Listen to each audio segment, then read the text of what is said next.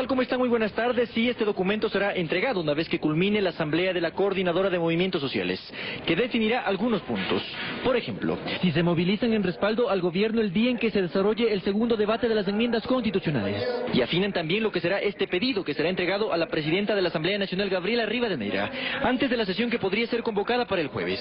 Esto como fecha tentativa. El tema uno, enmiendas constitucionales.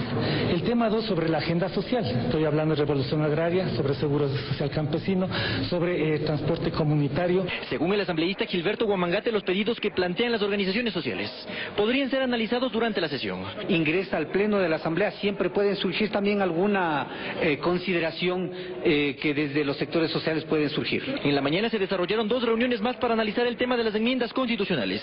La una en la sede de la Central Unitaria de Trabajadores y la otra en un edificio en el norte de la capital. Ahí estuvieron presentes dirigentes del Parlamento Laboral.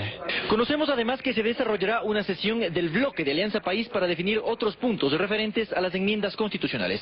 Reiteramos, la sesión podría desarrollarse el próximo jueves. En la noche les tendremos todos los detalles. Muy buenas tardes.